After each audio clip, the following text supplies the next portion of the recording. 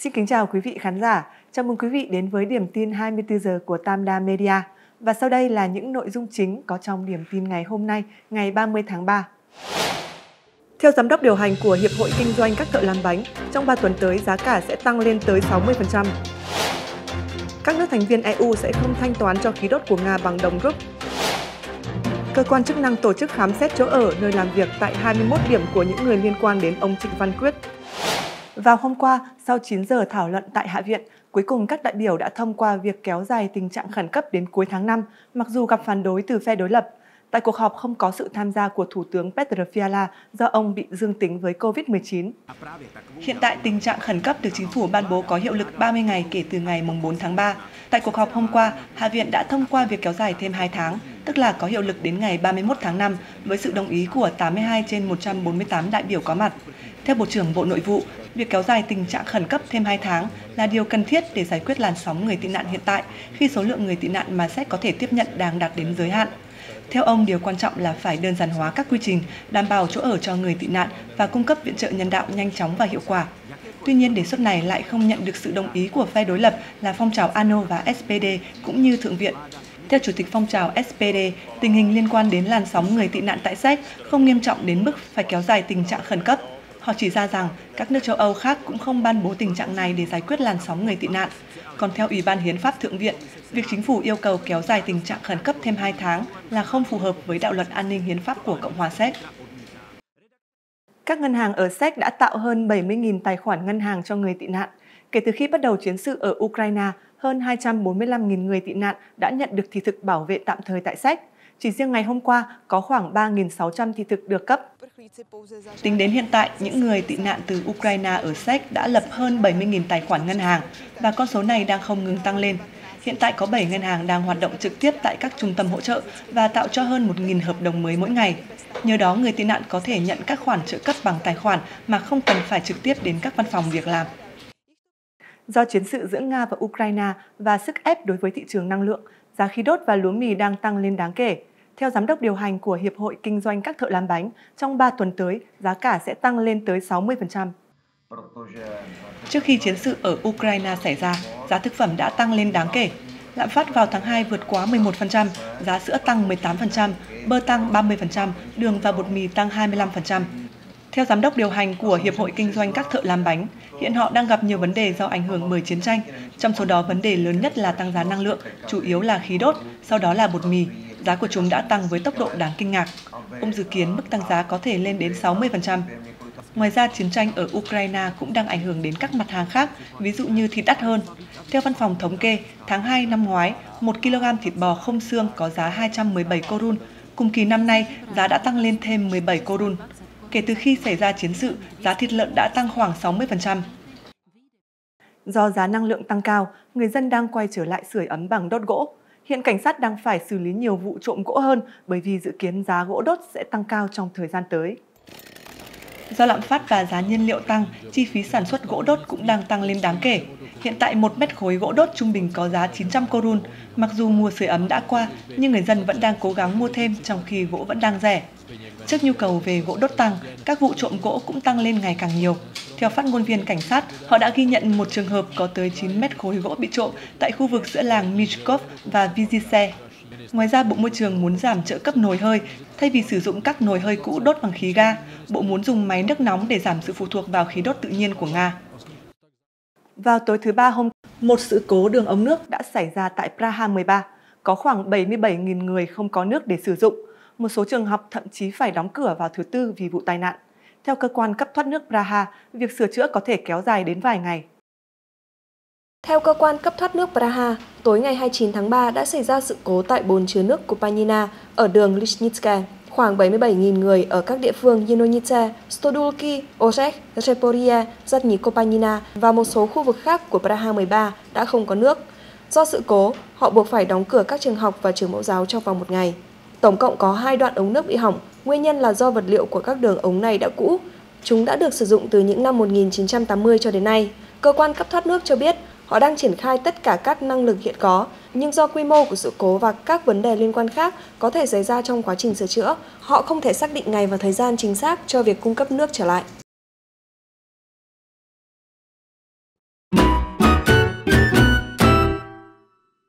Các sản phẩm hot với giá siêu đãi cùng Tâm Đa Food tham khảo ngay thôi nào. Đồ ăn cho thú cưng Purina One dạng túi giá 15,90 kurun, luôn nằm trong top hàng bán chạy. Đồ ăn dặm cho bé từ Hamanek có giá 12,90 kurun, Chipsy Bohemia 140g với giá 24,90 kurun. Đặc biệt riêng ngay BMW X6 cùng hàng chục giải thưởng tuần hấp dẫn cùng Tamda Promo 2022. Thông tin chi tiết tại website tamda.eu gạch chéo promo 2022. Sau khi vòng đàm phán thứ 5 giữa Nga và Ukraine kết thúc hôm 29 tháng 3, được đánh giá là mang tính xây dựng và đã có những kết quả ban đầu khi hai bên cùng có những bước đi nhằm giảm leo thang. Tại bàn đàm phán, phía Ukraine đã đề xuất áp dụng quy chế trung lập với một hệ thống đảm bảo an ninh mới. Theo đó, nước này sẽ không gia nhập các liên minh quân sự và không có căn cứ quân sự nước ngoài, nhưng yêu cầu các thành viên thường trực của Hội đồng Bảo an Liên Hợp Quốc và các nước châu Âu là những người đảm bảo an ninh. Phái đoàn Nga cho biết Nga đang thực hiện các bước đi nhằm giảm leo thang xung đột, trong đó có quyết định giảm hoạt động quân sự ở các hướng Kiev và Cherigov phía bắc Ukraine ngay khi cuộc đàm phán tại Istanbul kết thúc. Theo Thứ trưởng Bộ Quốc phòng Nga Alexander Fomin, Moscow đã đưa ra quyết định này nhằm tăng cường lòng tin tại các cuộc đàm phán nhằm chấm dứt cuộc xung đột ở Ukraine trong bối cảnh việc chuẩn bị một thỏa thuận về quy chế trung lập và phi hạt nhân hóa của Ukraine, cũng như cung cấp các đảm bảo an ninh cho Ukraine đang đi vào thực tế. Trên thực địa, các quan chức quân sự cấp cao của Mỹ nói Nga đã bắt đầu rút một số đơn vị khỏi thủ đô Kiev, bao gồm các nhóm chiến thuật cấp tiểu đoàn và hiện chỉ tập trung lực lượng ở miền Nam và miền Đông Ukraine. Các quan chức này cảnh báo Nga có thể đảo ngược động thái này bất cứ lúc nào. Các quốc gia trong Liên minh châu Âu EU như Cộng hòa Séc, Bỉ, Hà Lan và Ireland ngày 29 tháng 3 đã ra thông báo trục xuất hàng chục nhà ngoại giao Nga vì nghi làm gián điệp, cũng như thể hiện sự phối hợp trong việc áp đặt các lệnh trừng phạt đối với Moscow trong bối cảnh căng thẳng vẫn diễn ra ở Ukraine. Một số quốc gia châu Âu đang cáo buộc các nhà ngoại giao Nga đang hoạt động gián điệp ở các nước này và ra lệnh yêu cầu các cá nhân này phải rời khỏi lãnh thổ. Theo đó, Bỉ thông báo trục xuất 21 người Nga, Séc đặt giới hạn 72 giờ để một nhà ngoại giao Nga rời khỏi đất nước. Ireland cũng yêu cầu bốn quan chức cấp cao của Nga rời khỏi đất nước vì hoạt động được coi là không phù hợp với tiêu chuẩn quốc tế về ngoại giao. Trong động thái tương tự, Phó Thủ tướng kia Bộ trưởng Bộ Ngoại giao Hà Lan vào ngày 29 tháng 3 thông tin nước này đã quyết định trục xuất 17 nhà ngoại giao Nga trên cơ sở việc tiếp nhận thông tin tình báo của nước này cũng như các nước đối tác. Kể từ khi Nga phát động chiến dịch quân sự đặc biệt ở Ukraine đến nay, 116 cán bộ nhân viên ngoại giao Nga đã bị các nước trục xuất với cáo buộc hoạt động trái với quy chế ngoại giao. Ba Lan đang là nước trục xuất nhiều nhất với 45 người Nga. Hôm 29 tháng 3, Ủy ban châu Âu EC tuyên bố các nước thành viên EU sẽ không thanh toán cho khí đốt của Nga bằng đồng rúp, bác bỏ thời hạn chuyển đổi cơ chế thanh toán vào ngày 31 tháng 3 của Moscow. Trước đó một ngày, Bộ trưởng Năng lượng Đức Robert Habeck cho biết nhóm G7 nhất trí từ chối yêu cầu thanh toán tiền mua khí đốt của Nga bằng đồng rúp. Trong khi đó, người phát ngôn Điện Kremlin Dmitry Peskov cho biết ngày 29 tháng 3, Nga sẽ không cung cấp miễn phí khí tự nhiên cho thị trường châu Âu và đồng euro cũng như đồng đô la Mỹ sẽ không được chấp nhận từ ngày 31 tháng 3. Theo Moscow, quy tắc chuyển đổi tiền tệ mới sẽ ảnh hưởng đến các quốc gia đang thực hiện chiến dịch kinh tế chống lại Nga bằng cách áp đặt các lệnh trừng phạt và đóng băng dự trữ ngoại tệ của nước này. EU tuyên bố sẽ ngừng phụ thuộc vào nguồn nhiên liệu nhập khẩu của Nga từ năm 2027. EU đã ước tính có thể giảm 2 phần 3 sự phụ thuộc vào khí đốt của Nga trong năm nay và kế hoạch chi tiết sẽ được công bố vào cuối tháng 5. Nga hiện đáp ứng khoảng 40% nhu cầu của EU, cung cấp khoảng 175 tỷ mét khối mỗi năm cho khối này. EU cho biết họ đã tìm cách đảm bảo nhu cầu ổn định đối với lượng LNG bổ sung của Mỹ khoảng 50 tỷ mét khối khí tự nhiên mỗi năm cho đến ít nhất là năm 2030. Ngày 30 tháng 3, Tổng thống Mỹ Joe Biden ký thông qua dự luật quy định hành vi tư hình vì kỳ thị chủng tộc là tội ác thù hận, chấm dứt hơn một thế kỷ trì hoãn. Đây là lần đầu tiên trong lịch sử nước Mỹ ban hành luật liên bang chống tư hình do phân biệt chủng tộc. Đạo luật này định nghĩa hành vi tư hình là bất cứ sự tấn công nào do động cơ kỳ thị dẫn đến thương tích hoặc tử vong. Bất cứ ai vi phạm sẽ đối diện mức án lên đến 30 năm tù giam.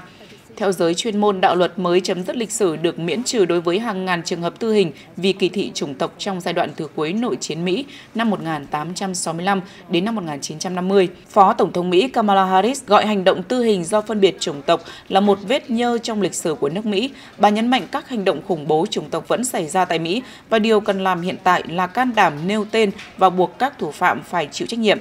Đạo luật được đặt tên theo Immatil, một thiếu niên Mỹ gốc Phi 14 tuổi bị hành hung dẫn đến tử vong vào năm 1955 do nạn kỳ thị chủng tộc tại Mỹ, dẫn đến phong trào đòi nhân quyền tại nước này vào thập niên 1950.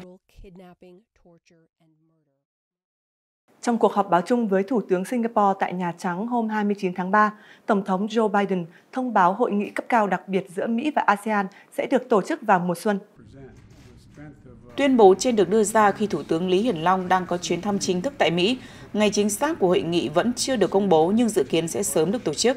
Thủ tướng Singapore ông Lý Hiển Long cũng hoan nghênh quyết định này. Singapore hoan nghênh ý định sớm tổ chức hội nghị cấp cao đặc biệt ASEAN-Mỹ tại Washington. Đó là một lời khẳng định mạnh mẽ về cam kết của Mỹ đối với Đông Nam Á và vai trò trung tâm của ASEAN. Hai nước đã thảo luận về tầm quan trọng của Mỹ, tăng cường cả vai trò chiến lược và kinh tế ở châu Á-Thái Bình Dương. Hai bên đã thảo luận về một loạt các mối quan tâm đối với hòa bình và ổn định ở Ấn Độ Dương-Thái Bình Dương. Điều đó bao gồm việc đảm bảo rằng tất cả các quốc gia trong khu vực, trong đó có cả Trung Quốc, tuân thủ các nguyên tắc gìn giữ một khu vực tự do và cởi mở. Singapore và Mỹ đều cam kết tự do hàng hải ở Biển Đông. Trong khi đó, ông Biden cho biết Mỹ và Singapore đang nỗ lực duy trì một trật tự quốc tế dựa trên nguyên tắc của Liên Hợp Quốc nhằm thúc đẩy một tương lai vừa tự do vừa rộng mở cho Ấn Độ Dương-Thái Bình Dương. Sau khi lập kỷ lục ở 355 ngày trong vũ trụ, hôm nay ngày 30 tháng 3, phi hành gia người Mỹ cùng hai phi hành gia người Nga sẽ rời trạm vũ trụ quốc tế trở về trái đất. Tàu vũ trụ Soyuz của Nga sẽ đưa phi hành gia của NASA là Mark Van der Hey cùng hai đồng nghiệp người Nga là Skaplerov và Dubrov rời trạm vũ trụ quốc tế ISS ngày 30 tháng 3 theo giờ địa phương và hạ cánh bằng dù xuống thảo nguyên của Kazakhstan gần 5 giờ sau đó. Bãi đáp nằm cách cơ sở phóng vũ trụ của Nga tại sân bay vũ trụ Baikonur ở Kazakhstan khoảng 400 km về phía đông bắc. Trong sứ mệnh lần này, phi hành gia người Mỹ Van der Hey đã phá kỷ lục về chuyến bay đơn dài nhất của một phi hành gia người Mỹ với 355 ngày liên tục trên quỹ đạo. Kỷ lục trước đó thuộc về phi hành gia Scott Kelly với 340 ngày trên quỹ đạo. Đây là chuyến bay đầu tiên của phi hành gia Dubrov, trong khi phi hành gia Skablerov kết thúc sứ mệnh lần thứ tư, tích lũy tổng cộng 708 ngày trong vũ trụ. Trong khi tàu vũ trụ Yosuf trở về trái đất, phi hành gia Skaplerov có trách nhiệm bàn giao quyền chỉ huy trạm ISS cho phi hành gia Thomas Byrne của NASA.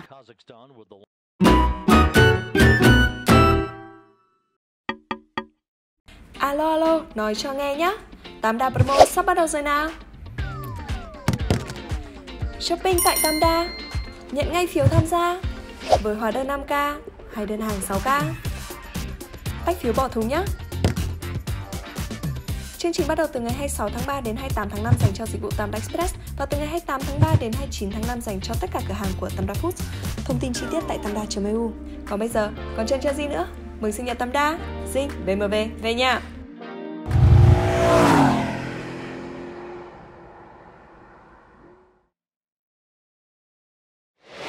Một người dương tính với virus SARS-CoV-2 nhưng lại không có triệu chứng, có được uống thuốc kháng virus Monupiravir không?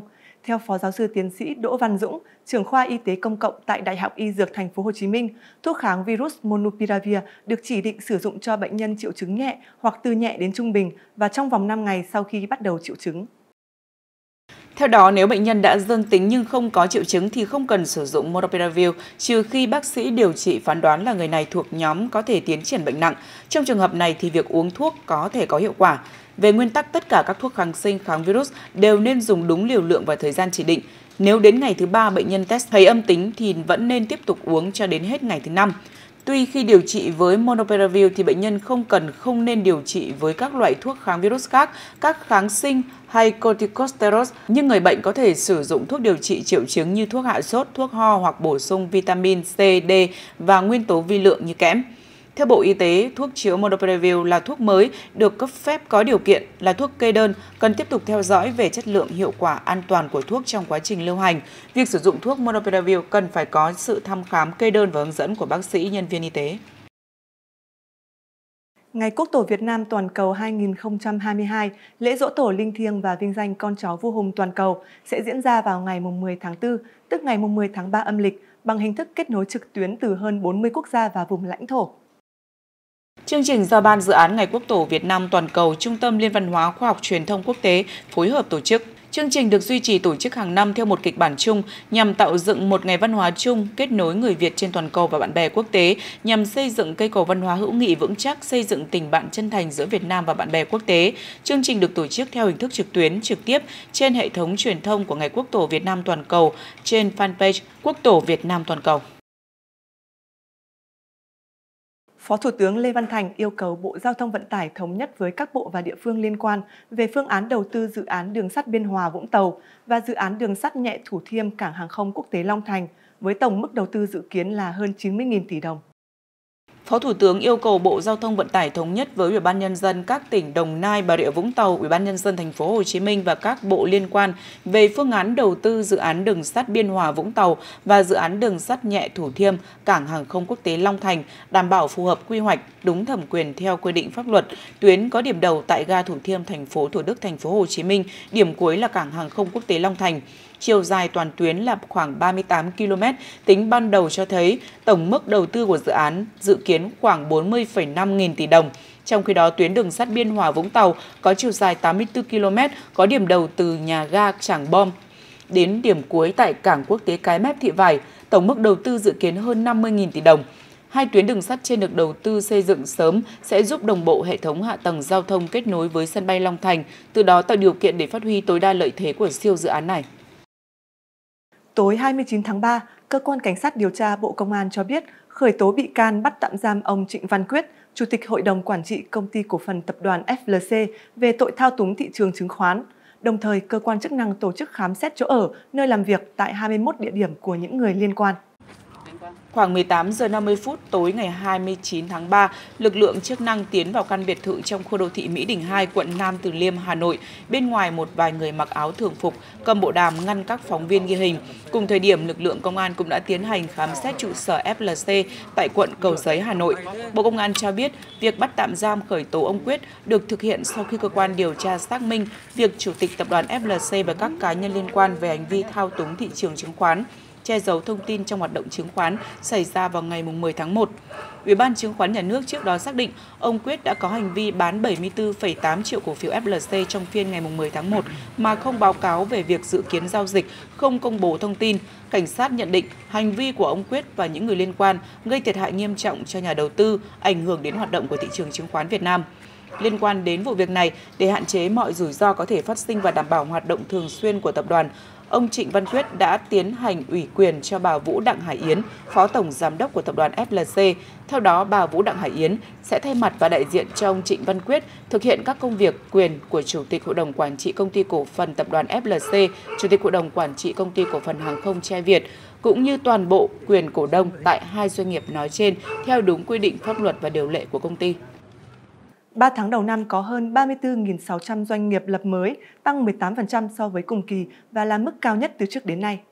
Cụ thể, cả nước có 14.300 doanh nghiệp đăng ký thành lập mới trong tháng này với tổng vốn 193.600 tỷ đồng, lần lượt tăng 96% và 127% so với tháng trước. Bình quân mỗi doanh nghiệp mới tham gia thị trường có vốn 13,5 tỷ đồng, tăng mạnh so với cùng kỳ năm ngoái. Con số này phần nào cho thấy niềm tin của cộng đồng doanh nghiệp đã dần trở lại sau 2 năm dịch bùng phát tối ngày 29 tháng 3 đã khai mạc Ngày hội Văn hóa Thể thao vùng đồng bào dân tộc thiểu số tỉnh Lâm Đồng lần thứ 5.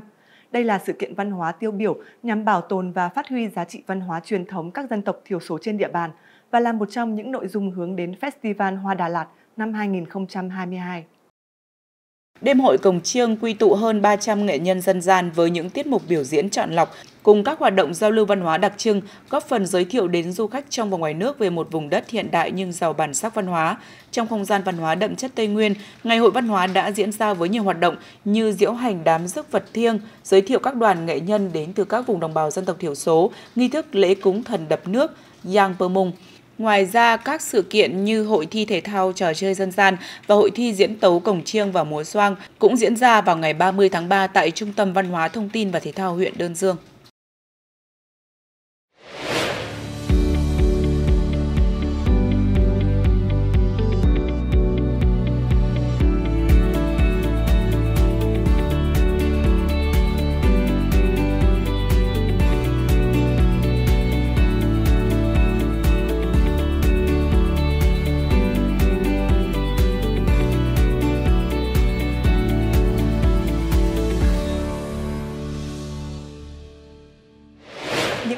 Dự báo thời tiết vừa rồi cũng đã khép lại điểm tin 24 giờ của chúng tôi hôm nay. Còn bây giờ, xin chào và hẹn gặp lại.